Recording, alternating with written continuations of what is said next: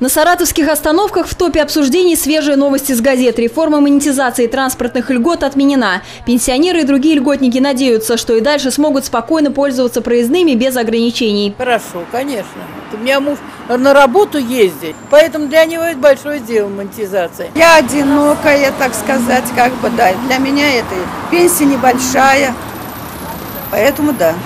Я за то, что проездные были. Перед тем, как отменить реформу, ее приостановили. Полгода назад законопроект был отправлен на доработку. Он оказался невыгодным как для тысячи льготников, так и для транспортных предприятий. Предусматривался слишком маленький размер компенсации. Причиной недоработок реформы стала аналитическая информация, которую соответствующие службы предоставили главе региона. Он лично встретился с льготниками и заморозил вступление законопроекта в силу. Мы не примем то решение, которое ухудшит положение наших пожилых людей.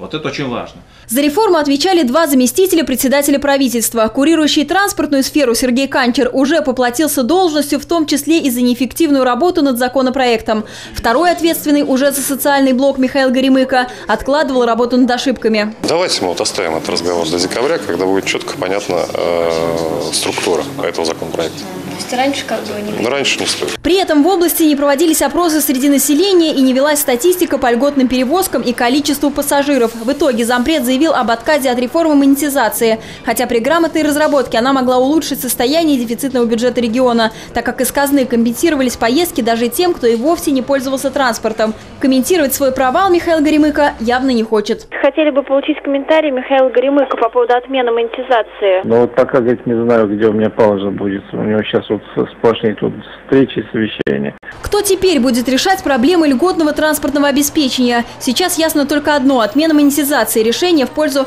незащищенных слоев населения. А это решение еще раз подтверждает позицию губернатора, что все проводимые реформы на территории Саратовской области а, ставят во главу угла а, интересы жителей. Но интересы перевозчиков по-прежнему страдают. Это отрасль в области на грани вымирания. Автопарк давно изношен. Денег на его обновление у бюджетных перевозчиков нет. Проблема в том, что многие перевозчики опасаются, что отмена монетизации льгот никак не отразится на выплатах компенсаций. Огромная задолженность, вы знаете, перед ключевыми автотранспортными предприятиями. Льготные проездные для перевозчиков иногда убыточны, поскольку на пригородные маршруты проездной значительно дешевле, чем фактическая стоимость поездок в течение месяца. Дисбаланс между стоимостью проездного билета и стоимостью одной поездки. Четыре поездки можно проехать экономически обоснованно а фактически человек может ездить по социальному льготному билету и 10, и 20, 30 раз. Чтобы решить эту проблему, сейчас в правительстве области создана рабочая группа. Там прорабатывают все возможные механизмы, чтобы сделать прозрачными расходы транспортной отрасли.